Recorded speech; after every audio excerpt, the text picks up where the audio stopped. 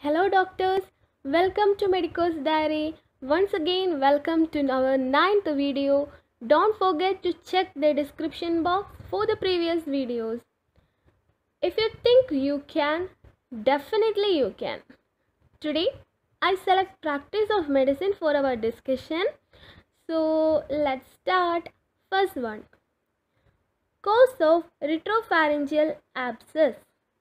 Options A. TB spine B. Mastoiditis C. Tonsillitis D. Dental sepsis Answer Option A.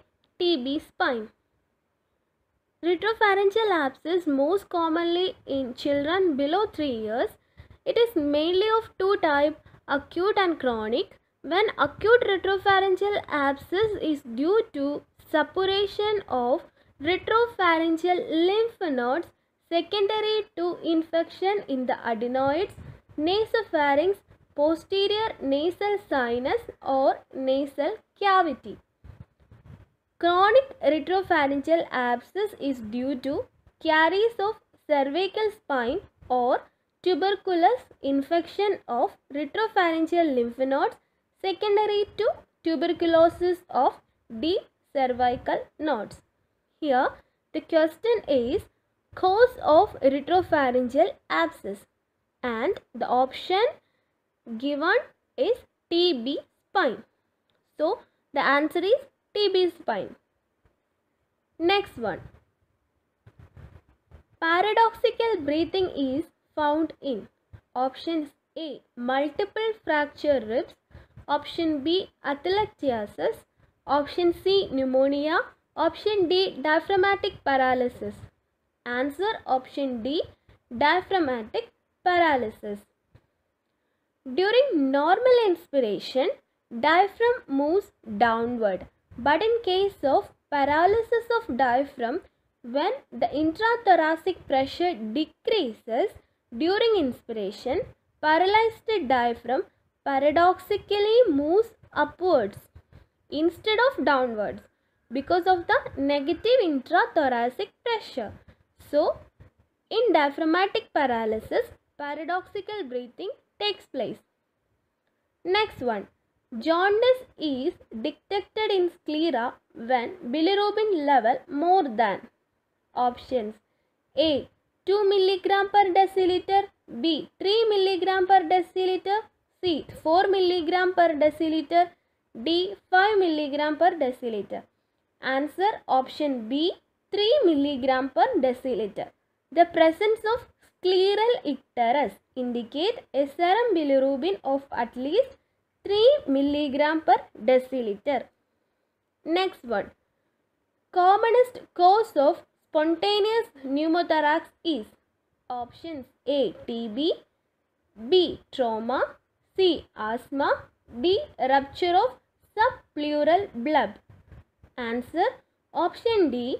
Rupture of subpleural bulb Commonest cause of spontaneous primary pneumothorax is rupture of a small subpleural emphysematous bulla or pleural bulb or the pulmonary end of the pleural adhesion. Pneumothorax What is pneumothorax? It is the presence of air in the pleural space. Occurs almost exclusively in smokers which suggests that the patient have subclinical lung diseases. If the recurrent of attack is present, thoracotomy is done. Next one, Wernicke's encephalopathy. Which vitamin is deficient? Options A. B1, B. B12, C. B2, D. B5. Answer A. Option B1. Wernicke's encephalopathy is due to the deficiency of thiamine that is vitamin B1. It usually occurs in alcoholics. It shows triad of confusion, ophthalmoplegia and ataxia. Cerebral form of thiamine deficiency is usually seen in alcoholic. Wernicke's encephalopathy is another cerebral form of thiamine deficiency. which is characterized by confusion, bilateral symmetrical ophthalmoplegia. In generally, the thiamine deficiency causes beriberi. Do you know the two type of beriberi? Yes, the first one wet beriberi, second one dry beriberi. In wet beriberi, edema is the most marked feature.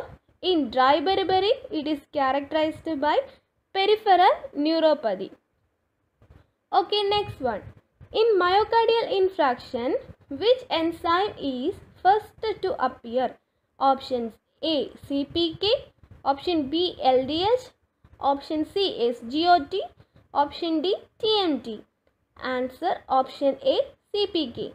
Creatine kinase CK or CPK is the first enzyme raised in plasma after MI. Its concentration rises after 4 to 6 hours. Don't forget after 4 to 6 hours after the attack. Reach at peak after 12 hours and falls to normal within 48 to 72 hours. The most sensitive markers of myocardial cell damage are cardiac troponin T and I which are released within 4 to 6 hours and remain elevated for up to 2 weeks.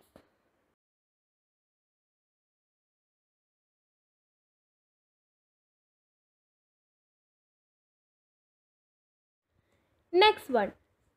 Typhoid in first week detected by option A Widal test, option B stool test, option C urine test, option D blood test. Answer option D blood test. In first week of typhoid, blood culture. Second week of typhoid, agglutination test or Widal test. Third week of typhoid, stool culture. Fourth week of typhoid, urine culture is done. You can remember this by using a code BASU. B-A-S-U. First week B blood culture. Second week A agglutination test. Third week S stool culture. Fourth week U urine culture. Okay, next one. Turner syndrome shows following feature. Option A short stature. Option B widely spread nipples. Option C webbing of neck. Option D all of them. Answer option D all of them. The patients are short stature though not actually dwarf trunk is muscular, neck is short and webbed, breast is not developed with nipples placed far apart. In Turner syndrome, there are 44 autosomes plus one only one sex chromosome. Okay, next one. Hemoptysis is seen in A. Aortic stenosis, B. Pulmonary stenosis, C. Mitral stenosis, D tricuspid stenosis. Answer option C mitral stenosis. Pulmonary congestion in mitral stenosis may cause cough and pulmonary hypertension thus leading to hemoptysis. Because of mitral stenosis there is increased left atrial pressure which causes back pressure in the pulmonary vascular bed leading to pulmonary hypertension. This rise in pulmonary vascular pressure will cause rupture of pulmonary bronchial venous connection giving rise to hemoptysis. Okay, next one.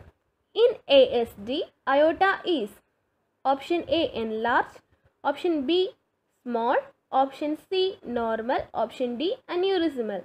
Answer option B small.